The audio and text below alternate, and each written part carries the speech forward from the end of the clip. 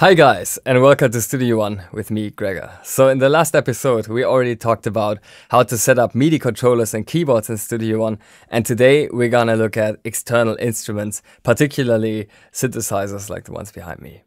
We have a really awesome new workflow for these in Studio One 5, and I want to show you that right now. Let's go.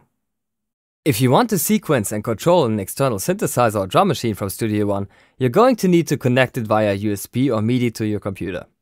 What you also need to do, and this is something that many beginners aren't aware of, is connect the audio output of your instrument to your audio interface or mixer as well. Because otherwise you're only sequencing your instrument, but you won't be able to capture the actual result in your DAW. In a digital world full of virtual instruments, it's easy to forget that audio and MIDI are two very different things in the analog domain. Don't worry though, because I have some great news for you. Studio One 5 now offers a true single track workflow for external instruments. This makes them almost as easy and convenient to use as virtual instruments. Let me show you how it works. Let's take care of the MIDI side of things first, which enables us to send notes and control data to our external instrument. From Studio One's start page, click on Configure External Devices and then click Add. You can now add a new instrument device. Enter the manufacturer and device name on the right and set the Send To port. Please note that instrument devices do not show up in Studio One's MIDI input list. So if you want to not just sequence the instrument itself, but also record notes or send control data from that instrument into Studio One, then you will also need to add the instrument as a new keyboard or control surface. I've shown how to do this in my previous tutorial, which is also linked in the video description. So if this applies to you and you haven't seen that video yet, then please go and check it out first. Go ahead, I'll wait. You're back? Awesome.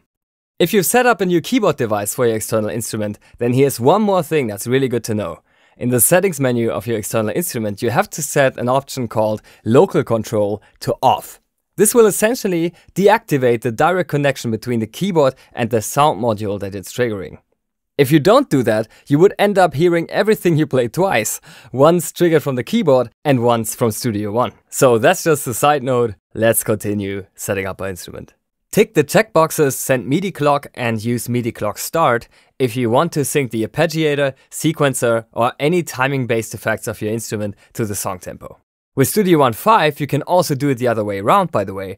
To do this, you'll need a MIDI device that can send MIDI timecode, and then you can assign it in the synchronization tab of the advanced Studio One settings. Now, that's really cool if you have like an SSL console or an old drum machine, or if you perhaps have two separate computers and you want to sync one to the other over the network.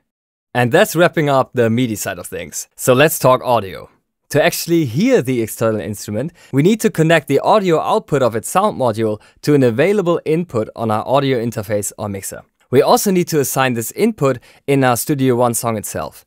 And to do this, open up the song settings and head to the Audio I.O. tab. Now you can click on Add Mono or Add Stereo, depending on the nature of your instrument, and then name it and label it with the color you want. Then just tick the input that you use to connect your instrument, and you're pretty much there.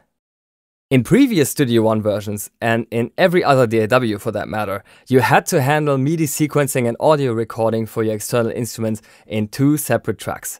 But in Studio One 5, as I said before, you can do it all in one.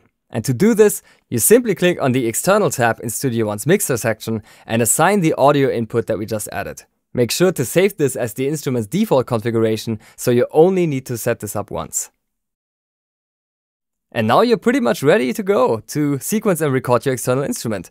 The rest is truly child's play. Go to the instrument section in the browser, open the folder labeled external instruments and drag the instrument into your song. That's it. You can now play, sequence and record your external instrument just like you would with any other virtual instrument like Mai Tai, Presence XT or Impact XT. The only thing you have to consider is that you will have to do a real-time export because your instrument is not rendered inside of the computer. It has to be recorded from the outside world into your song live. Other than that, have fun and thanks for watching.